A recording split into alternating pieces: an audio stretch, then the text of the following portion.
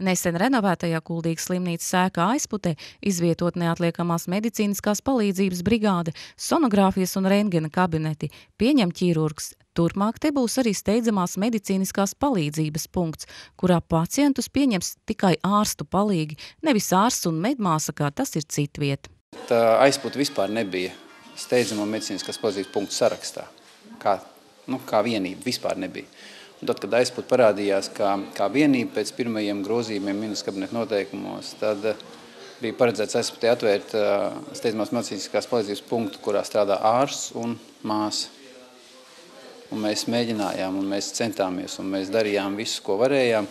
Mums pat bija sapulcs eh, pilsētas domē, bet mēs nedabūjām ārstus, kuri būtu ar mieru šeit strādāt. Varbūt tas arī ir loģiski, jo man, mana pārliecība, ka faktiski tie ārsts arī nav nepieciešams, jo te īsti ārstam nav kur izvērsties, viņam ir rocība par mazu.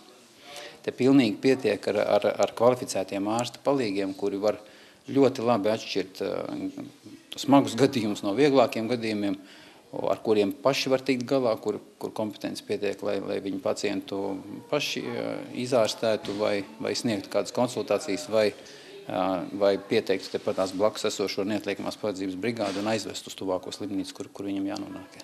Lai gan steidzamās medicīniskās palīdzības punktam aizputē valsts finansējums bija pieejams no 1. jūlija, tā atvēršana aizkavējusies par 3,5 mēnešiem. Galvenokārt tie steidzamās medicīniskās palīdzības punkti ir veidojušies tajās vietās, kur kādreiz bija lokālās slimnīcas, kas pēc tam tika pārprofilētas par, par aprūpas slimnīcām. Un tās tomēr ir lielākas apdzīvotas vietas, un, un tur ir lielāki resursi bijuši, tā skaitā speciālistu resursi un, un aprīkojuma ziņā. Tā, tā ir tomēr bijusi vieta, kur, kur ir vieglāk atrast nepieciešamos gan cilvēku resursus, gan, gan, gan darbarīgus, lai, lai to punktu atvērtu. Un aizput ir tāds ne mazs, ne, ne liels, bet tāds pa vidu. Un aizputs gadījumā tomēr, nu, manuprāt, tas ir, bija pareizs risinājums par to, ka te jābūt steidzamās medicīniskās palīdzības punktam, kurā strādā tikai ārstu palīgi. Var, iespējams, ka vēl kaut kur ir nosaukti tādi punkti, bet es nezinu. Man liekas, ka mēs esam šobrīd varbūt pirmie, ja ne, ja ne vienīgie. Steidzamās medicīniskās palīdzības punktā nepārtrauktu diennakts režīmu nodrošinās 12 ārstu palīgi.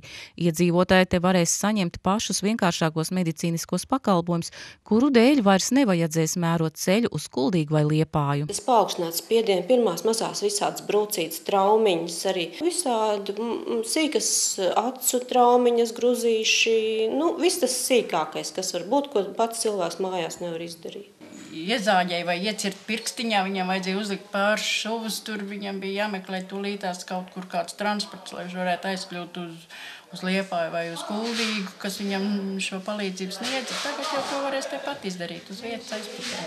Ja no rīta cilvēks varētu nokļūt Kuldīgā pie, pie nozīmētiem ārstiem, tad atpakaļ dienas vidū viņam šī iespēja nokļūt atpakaļ mājās ir diezgan sarežģīta. Jo sabiedriskais transports ir no rītiem, kas iet uzkuldīgu.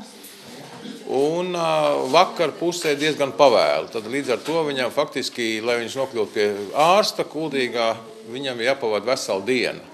Nu, ja gadās arī kādas kā no aizpūtes pilsētas centra, varbūt tās ir vieglāk, bet ja no novada attālākām vietām jānokļūst, tad cilvēks parasti griežās vai nu pašvaldībā, pēc transporta, lūdzu aizvediet mani, un atvediet arī atpakaļ. Un tā ir darīts, jo traumas ir gūšas cilvēki, kur no Kalvens, no Cīraus vai no, no citiem, no Kazdāngas ir vesti uz Kuldīgu, un pēc tam ir sagaidīts, kad viņš pie ārsta tās procedūras saņēmis, un viņš ir vests atpakaļ mājās, jo viņi vienkārši slimnīcā nepatur, Viņam pasaka, jātiek mājās. Nu, viņš griežas pašvaldībā, lai viņu arī atvest mājās. Tāda problēma ir šobrīd.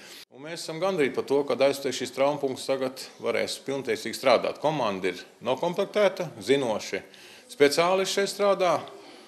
Un pateicoties arī Kuldīgas slimnīcai, Eglīšu kungam, viņa gādība šeit būs šie kabineti ir iekārtot, viss ar aparatūrām.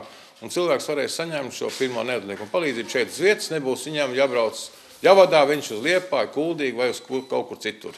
Šīs mikrotraumas varēs šeit, to sakot, arī apstrādāt, arī viņš varēs iet uz mājām. Latvijā šobrīd izveidoti 14 steidzamās medicīniskās palīdzības punkti, no tiem 3 kurzemē, Talsos, Priekulē un Aizputē. Sāk drēmne Edvins Svēls, Aizputs televīzija.